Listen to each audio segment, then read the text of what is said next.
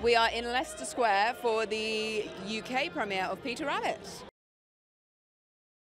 It feels very, very nice. It's very nice too when it's a cold day and people turn out to say hi. But Beatrix Potter is like a British staple, so it's wonderful to be here.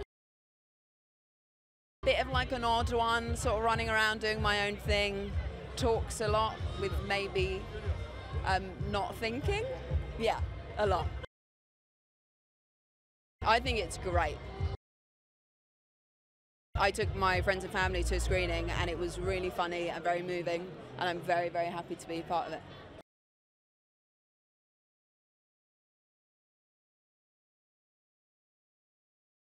We're in Leicester Square and we're at the premiere of Peter Rabbit and uh, lots of people are here and it's great. We want to bring the film everywhere and, and, let everybody see it. And obviously, it's set in England. Uh, Beatrix Potter is a very English story. And uh, so, yeah, it feels like it's kind of at home here. It was very physical, and there was a lot of stuff with an imagined bunny rabbit that wasn't actually there.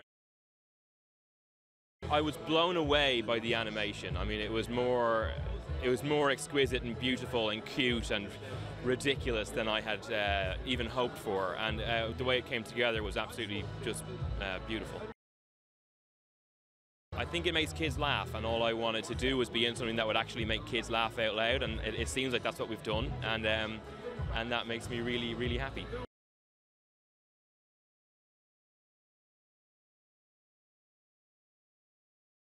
I worked with Sony a couple of times before, so um, Spring, who's the head of music there, thought I'd be a good fit with Will. So I met Will, um, and he gave me a couple of scenes to do just to see if I was the right fit. And I did the 2D flashback at the beginning of the movie, and um, luckily he really liked it, and then that was history, really. This one is slightly trickier because I needed to fuse the traditional element of Peter Rabbit with the modern element of Peter Rabbit. So, and Will doesn't really use composers before, so there was that obstacle to overcome too. But so I started with the band. I started with a more song aspect of things, and then I just slammed a massive orchestra on top of it, and it seemed to work. It was more about getting what Will wanted and finding that sound that he, he, he said to me at the beginning of the process. I really want people to know this is Peter Rabbit when they hear the music. So that was the tricky part, finding that original sound of the action stuff. My mum used to read me the stories all the time. Oh, it was amazing. I mean, I when when Spring sent me the script, I just it was one of those things that you just have to put out in the atmosphere, and you I just wanted it so badly. So it's great that I'm here now. It's awesome. The finished film. Uh, well, I was on really early, so I've seen it come from like little guys with blue hands and all the way to now, and it just it's so lovely. It's so cute, and it's got a lovely message. It's hilarious, so it's it's really awesome to be a part of it.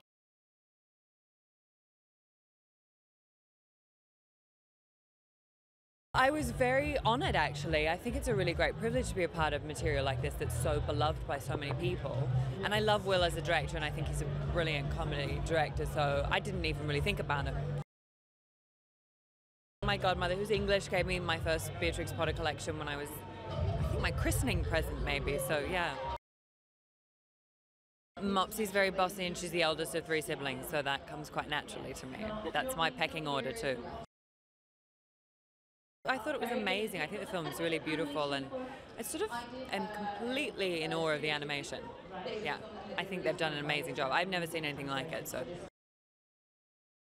I just think it's such a beautiful film to bring your kids to because, I mean, the parents will obviously enjoy it because it's hilarious and a lot of the jokes go straight over the kids' heads, but um, it's just sort of like, just charming. I think it's charming and funny and the kids love it and it's, if I had children, I would be there in the snap.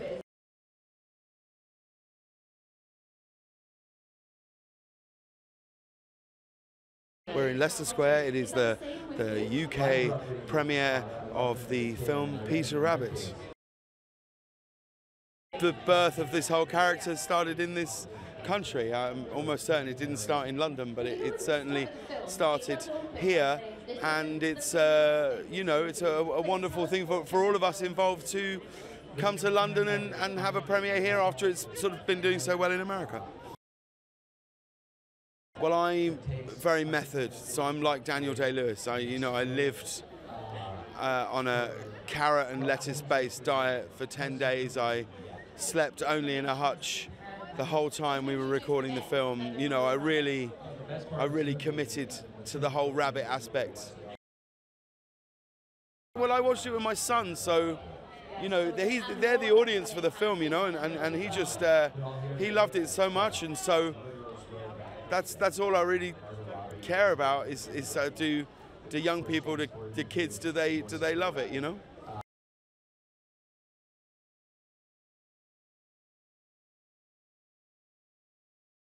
This movie is could not get more British. I'm the only only non-British part of this movie, so we're trying to do everything I can to uh, keep it in England.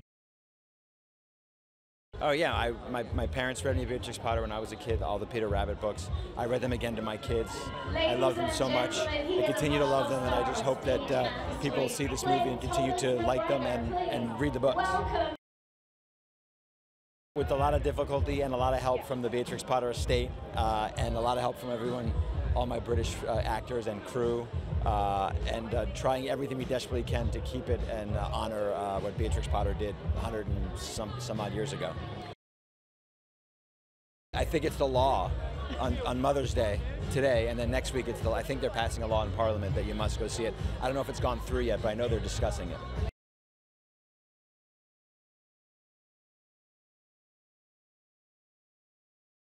When you think about Peter Rabbit, he's one of the most universally loved characters in the world. You know, parents have had the stories read to them by their parents, they've read it to their kids, and everywhere you go, everyone knows Peter Rabbit. And for um, Animal Logic, the animation studio behind this, which has been behind many inventive films like Happy Feet and the Lego movie, it was an amazing opportunity to bring a great character to life in a way that's never been done before. I loved her books, and everyone I ever talked to feels the same. Um, but so we were very, very careful to be to keep the integrity of her work intact in the way that we characterized Peter as a character, but also in the way we designed our characters and brought them to life in a, in a sort of 3D, tangible way. The um, designers at Animal Logic worked for a year to figure out how to adapt him into a 3D form, how to keep him true. We made uh, actual size blue jackets that we put onto mannequins to make sure that it maintained the integrity of the original design. But it is amazing CG mastery as well. Uh, Peter Rabbit is a very complicated movie to pull off. Will Gluck, the director, did an amazing job of marrying the live action and the animation, as did the animation crew behind it at Animal Logic. We were so blessed with the voice acting in this movie. There could not be a better Peter than James Corden. James is Peter. He's mischievous, he's lovable, he's, he's warm, he's friendly, he's funny, and that's Peter Rabbit. And so we couldn't think of a better actor for, for Peter, but equally, the triplets are awesome. To have Margot Robbie, Elizabeth Debicki, Daisy Ridley as the triplets was amazing, and I think little girls will be picking their favorite triplet and talking about that one of them for weeks to come. I was so pleased with the final result of this movie because it was a two year labor of love and before that many years in story development. So to see all of that come together, to see scenes come together where actors like Domhnall Gleeson were acting against a blue puppet on set, which then turns into a really believable Peter Rabbit in the movie, and to see it come to life in such a fun way with great music is just awesome.